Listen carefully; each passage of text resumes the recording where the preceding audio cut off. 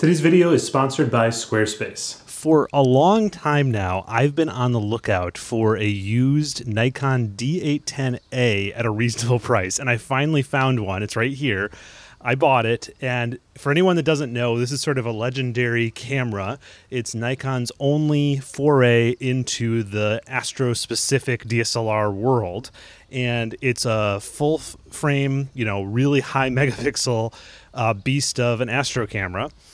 And I got a chance to try it out the other night, but it was one of those nights where clouds were rolling in, so I only got off a couple shots. So I thought this would be the perfect chance to do another single shot challenge where no calibration frames, no stacking, just one raw exposure off of a DSLR, and we'll process it together and see what we can get. So I'm going to make the file and my intermediate files available to you. Check the link in the description. So if you want to process along with me, you can. But of course, it's a challenge, so you can also process it however you wish. You don't have to follow my lead. Um, one really cool thing about this camera is that without doing any kind of things with intervalometers or menus, there's actually a mode on the camera that allows me to do 15 minute, 10 minute, any length exposure basically. So um, I can shoot a 15 minute exposure just as a straight up normal exposure with this DSLR. And you know, or probably many of you know that most DSLRs and mirrorless cameras are limited to 30 seconds unless you use a bulb timer. So I'm going to jump on my Mac and in this video, I'm going to use PixInsight and Photoshop. Um, I don't know if I've ever used that particular combination in a processing video before, but it's actually a combination of software that I use often. Um, that's usually sort of my go-to is PixInsight than Photoshop. So we'll give that a whirl. Okay, here's the Nikon file. Uh, .nef is the Nikon RAW file uh, ending. If I press Command I, we'll have some information about it. We can see it was taken by a Nikon D810A I was just talking about, and the exposure time is 15 minutes. It doesn't know the F number because this was taken with a telescope, but it was an F5 telescope at 300 millimeters focal length. And if we just take a look at the picture in this state, it doesn't look like much. We can see the bright star Antares right there, and what is that, M4, the Messier 4 cluster, globular cluster. But we can't really see much nebulosity. It's basically blown out. But through processing, I think we'll, we'll see a lot more. So uh, let's go ahead and open this. I'm going to open it up with PixInsight, which is a paid program that they do have a generous free trial if you're interested in trying it out. And the way that I have my um, PixInsight uh, installation set up, it does not automatically debayer raw files from DSLRs. So if I zoom in, you can actually see the Bayer pattern of red, green, and blue pixels. Um, and this is a grayscale image. So first thing I'm going to do here is I'm going to debayer the picture by going to Process and choosing Debayer and I'll just leave it on auto and just drag this little triangle onto the picture. That's the most surefire way to uh, execute a process in PixInsight if you're new to the program. You can see PixInsight does give you some nice um, ideas of what it's up to. So the first thing that it did is it detected the color filter array pattern is RGGB, meaning uh, that's sort of the order that the pixels go in. It's now done. PixInsight has this handy feature. While even though this picture isn't stretched yet, as we can see, we can go up here towards the top and click on this little button that's like a radioactive symbol, and it's the STF Auto Stretch Screen Transfer Function Auto Stretch tool. And if I click that, we get this. And uh, this is very normal. Uh, a, a, lot of people, when you're new to astrophotography and you're using a tool like PixInsight or Siril, um, when you see this, uh, this everything's green. Uh, it's you might freak out or something because it, it, looks so weird. Um, but this is actually something that happens all the time in astrophotography. But let's say we did want it to display more correctly, we could actually just open up the screen transfer function process and unlink the channels so that it can equalize the red, green, and blue channels and do that, and it looks a lot more normal. Okay, so that's sort of a baseline of what we have here. Of course, we're going to want to bring out the colors and things a lot more than this. You can see there's just maybe a little bit of vignetting um, or something weird going on.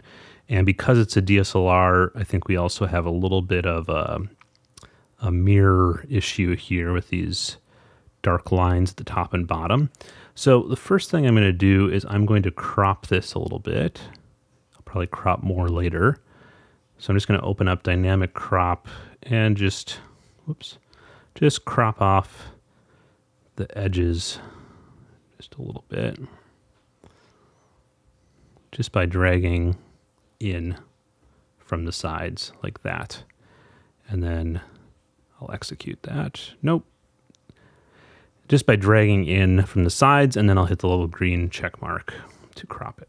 Okay, done with that. Next, um, what I'm going to do is I'm going to use uh, something called the automatic background extractor. And this helps with just sort of the unevenness of this field. I think it's darker on this side and brighter on this side because that's how um, Rho Ophiuchi, this object, was setting. It was setting into the light pollution over here.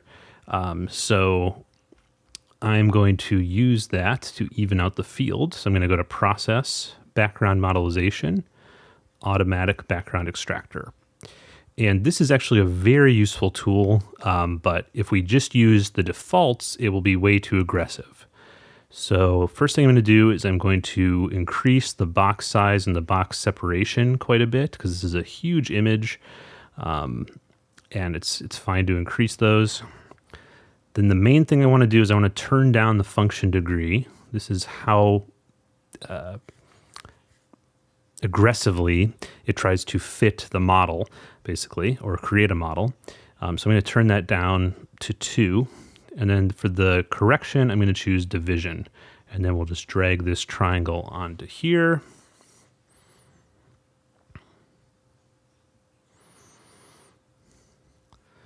And I'm sure if we look at the background model, it'll be mostly... Oh, so that's interesting. I don't know why it's so um, why it's like that. The vignetting is so off because it wasn't on when I used the RA. Interesting. With the same telescope. Sorry, I'm just sort of thinking out loud. Hmm, but that looks off now because that's so green over there. Okay, well, this didn't work out quite right. Let's see what went wrong. Or maybe that is right, and this this is just the glow of the Milky Way, and it's sort of just turned out green all over.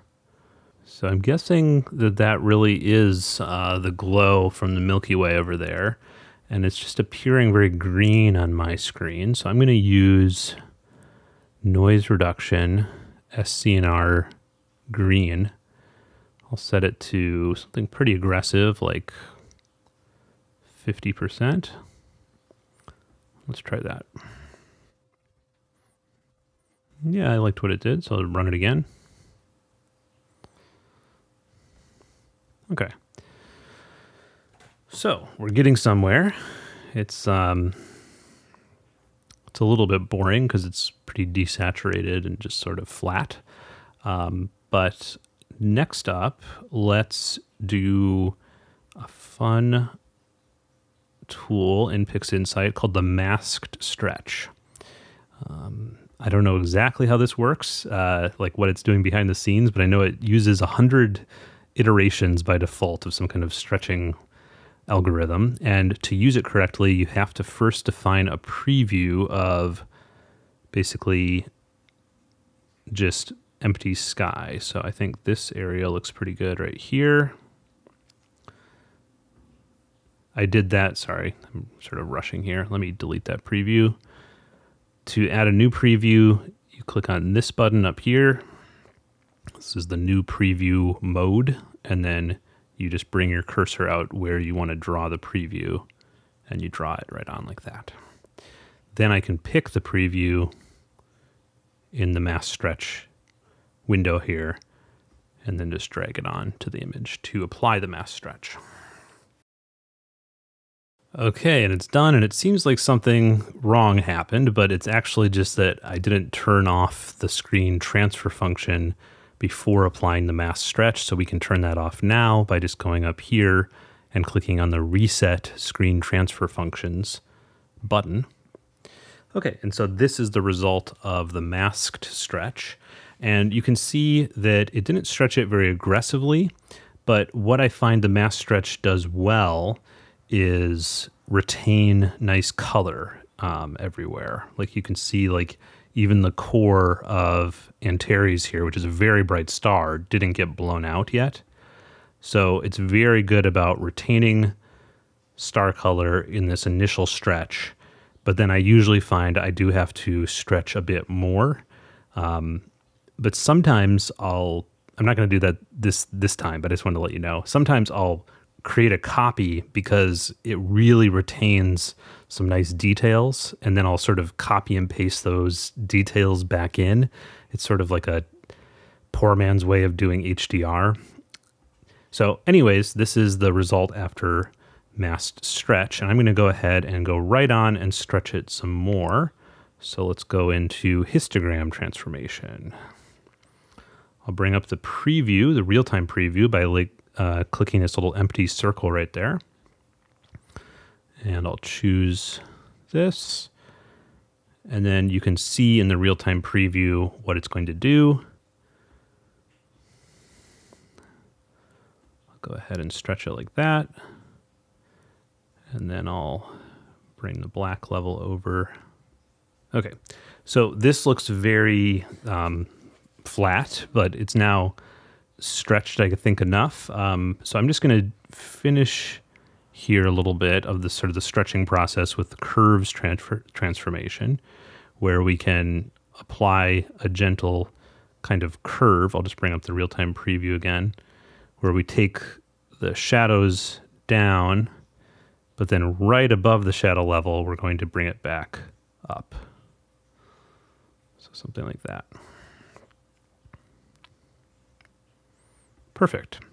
Okay, so I mean, this is already looking really good. Just, I mean, we haven't really even done anything major yet. Just uh, background extraction and and uh, st- stretching, stretching with three different processes. Just because I I sort of like bits of each one.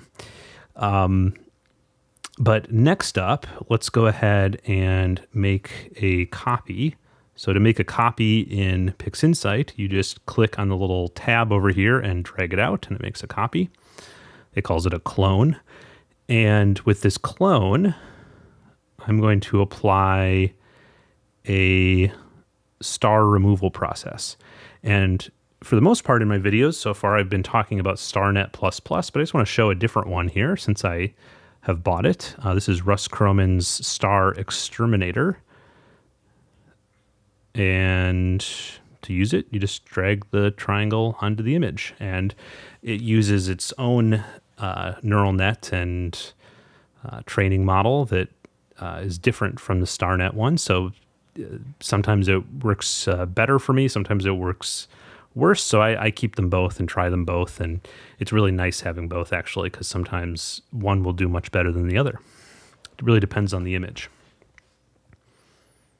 One thing I can say the StarXTerminator does better on is anything with diffraction spikes. It, it cleans those up much better. Okay, so it's done. There is our starless version. I don't know. This over here is still looking a little bit green to me, but I might just crop that out anyways, because uh, I sort of just like this central part of the image uh, for the most part. But anyways, I think we're done now in PixInsight. We're going to move on to Photoshop, but we're going to go ahead and save these two files, and I will make these available as well if you want to just skip right to the Photoshop part. So let's call this stars. Save it as a TIFF file. 16-bit TIFF. And we'll call this one starless. Also save it as a 16-bit TIFF file. Okay, and then I'm going to take these two files, right click, and open with Adobe Photoshop. Before I jump into Photoshop, let me just uh, share a little bit about today's sponsor, which is Squarespace. Squarespace.com is a really easy to use website builder that I think you should give a try if you need a website because it's quite affordable and I've never found a website builder that works this well. It's just seamless. So I'm actually in the website builder right now. I just want to show it to you here because you actually see your website live. You can just click through your website. And let's say I want to edit this page. I can just click edit.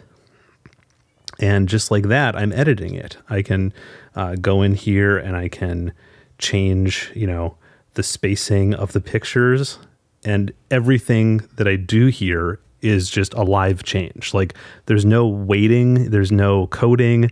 It's just it's pretty amazing how well it works. Um, if I wanted to add more pictures, you know, it's just so simple. I can just click upload images, find my pictures, and upload them. Um, and then they're they're live on the website. I can add descriptions, links. I can do all of that. Um, and this was a template that I picked uh, it didn't take very long to find a, a really good looking template that worked.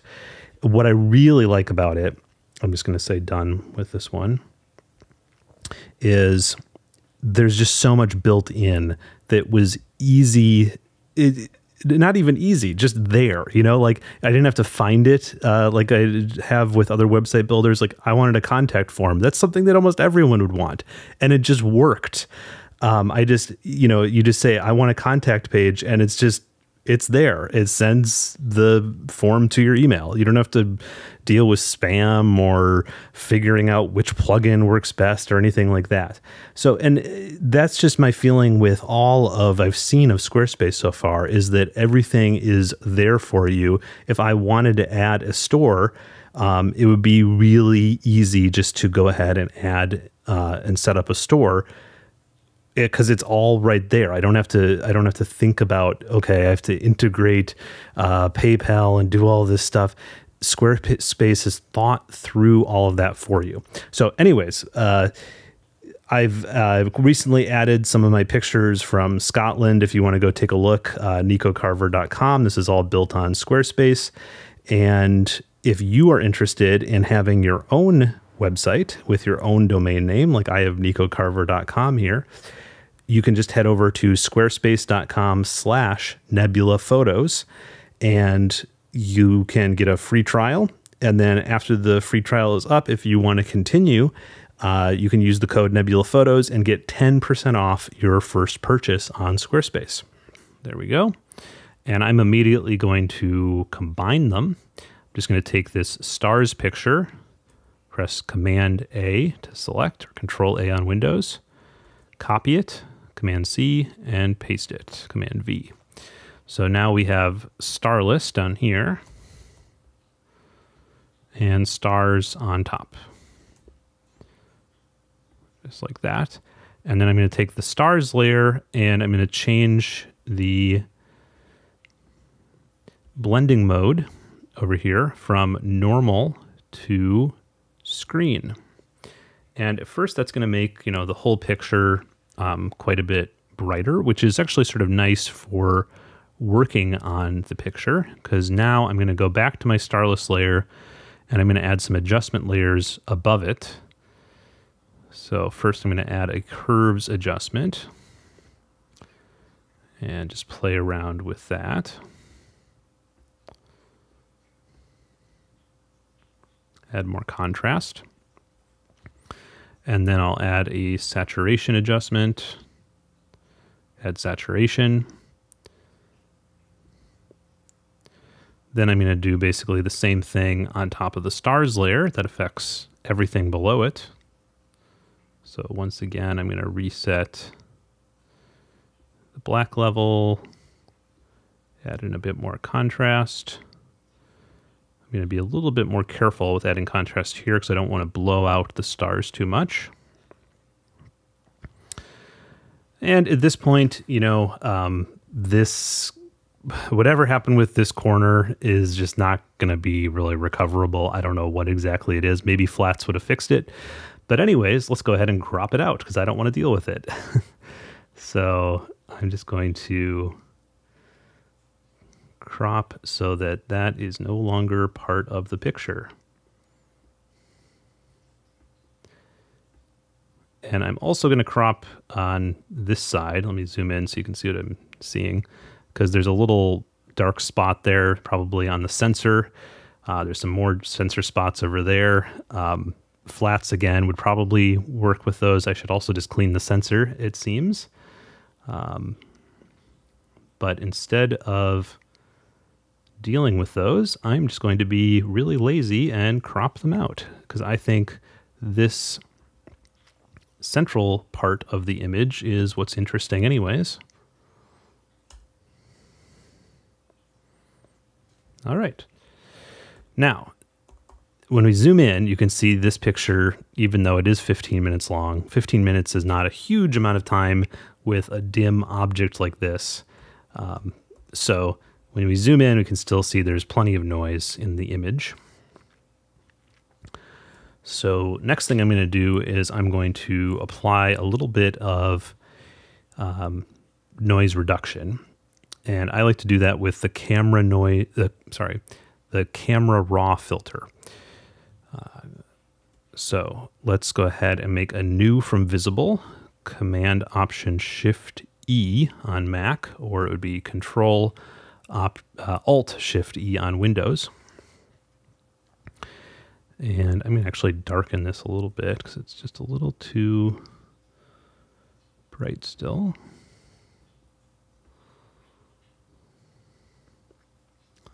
Okay.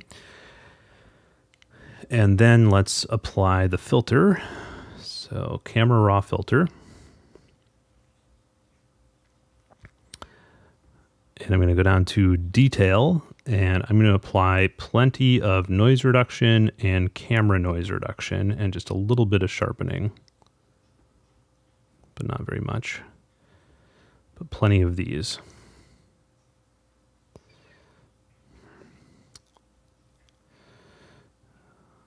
Okay. Um, maybe I'll add a little bit of vibrance too. Yeah, just to that helps with the blues, bring out the blues a little bit. A little bit of saturation, not too much. Okay, I like that. Let's go ahead and click OK.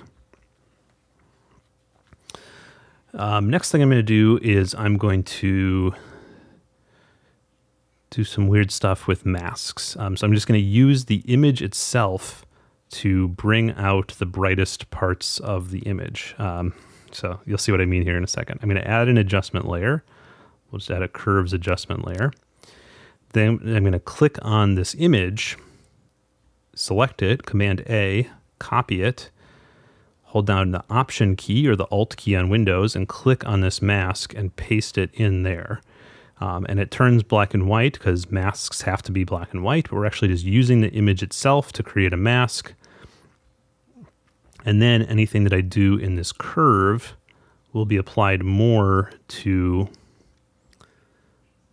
the brighter parts of the image. So I'm just going to increase contrast on the brighter parts a little bit by doing a small S curve there. And then I'm also going to increase, just holding down Option, I'm going to replace that mask, or it'll be Alt on Windows, Alt and drag.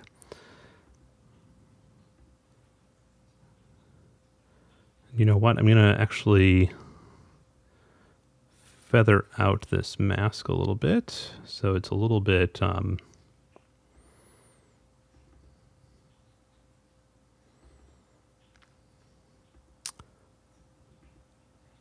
like this. So see here's before feathering, I'm just going to feather it out a little bit so that it's really just applying to the nebulosity.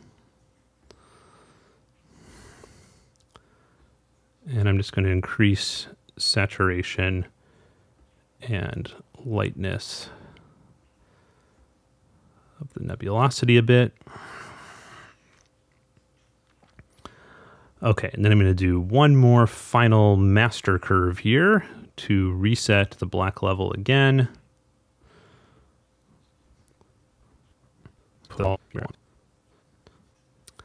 And then I'm just seeing, uh, one, I know they said that was the last thing, but I'm just seeing the corners look a little bright. So I'm just going to do one more curves layer. And I'm going to apply a circular gradient to this. So it's just going to be affecting the corners mostly and not the middle at all.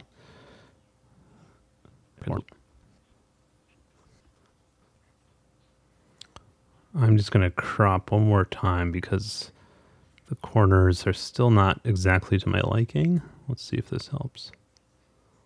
Yeah, it's it helped a little bit. I don't know.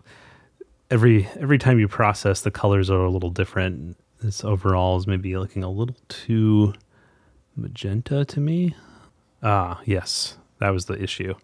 See, see that? This is where it was with magenta and I, I think I think I know the problem. It was it was applying that SCNR green twice earlier that messed up the color balance of the overall picture a bit too much. I should have just uh, knew know that I was going to crop later. This is the correct color balance, but it was like this. So th- this is mostly just knowing uh, this field well enough to know, oh, there's not enough green in this image. Um, anyways, that was a mistake earlier. Should have should have realized at the time, but now it looks a lot better. Okay, so I think we're done. This is my final interpretation. Uh, again, this was a single exposure challenge. I know that was a lot of nonsense I was doing here in Photoshop, but um, hopefully you got something out of it just watching me process live and sort of talk through it. Uh, again, everything I now have on my desktop. Let me get rid of this. These two files and the raw file I'm going to put up online for you to check out yourself and play around with. And if you do process it, uh, feel free to share it on social media and say, you know, this is Nico's single exposure challenge and this is my interpretation because I'd love to see them. At this point, I want to thank all of my wonderful patrons over on patreon.com slash nebula photos and if you're interested in seeing your name in the credits of any of my long videos, any of the videos over 20 minutes, you can head over to this link and support me there. The support of uh, the channel starts at just $1 per month, and then I also have a $3 and a $7 tier. And there are a number of benefits included for signing up on my Patreon. Um, these include a vibrant Discord community where people post their photos, get photo critiques, help each other with gear and processing and everything related to astrophotography. And we also have a monthly challenge object that's a friendly competition with uh, some prizes.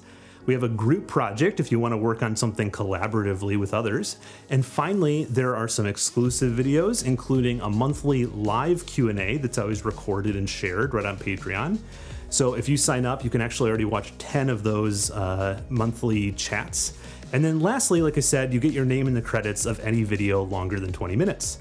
So the link again is patreon.com slash nebulaphotos. I hope to see you there.